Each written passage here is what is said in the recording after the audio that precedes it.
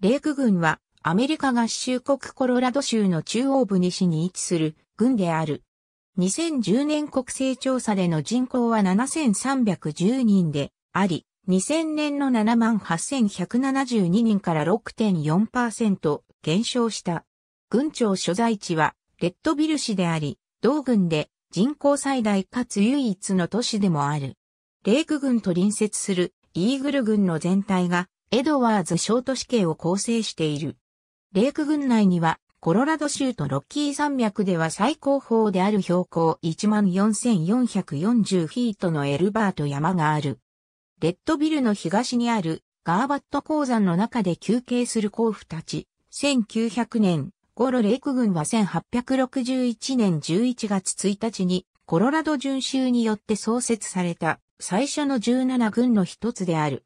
最初の郡はすべてそうだったが、レイク郡も現在の領域より大きなものであり、現領域の南と西に広がっていた。郡内にある双子の湖、ツインレイクスから郡名が取られた。その後の長い間に徐々に面積が小さくなった。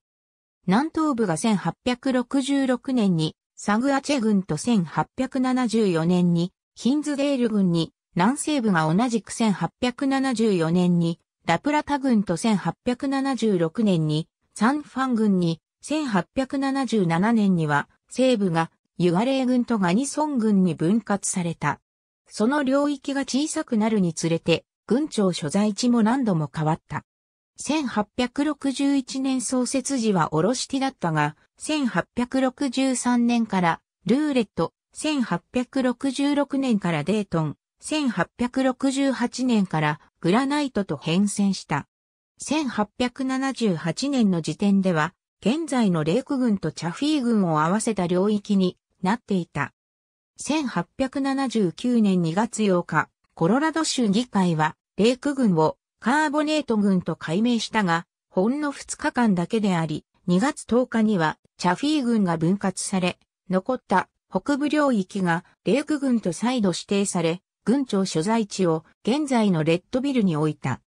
アメリカ合衆国国勢調査局によれば、郡域全面積は383.90平方マイルであり、このうち陸地は376.89平方マイル、水域は7.01平方マイルで、水域率は1.83%である。以下は2000年の国勢調査による人口統計データである。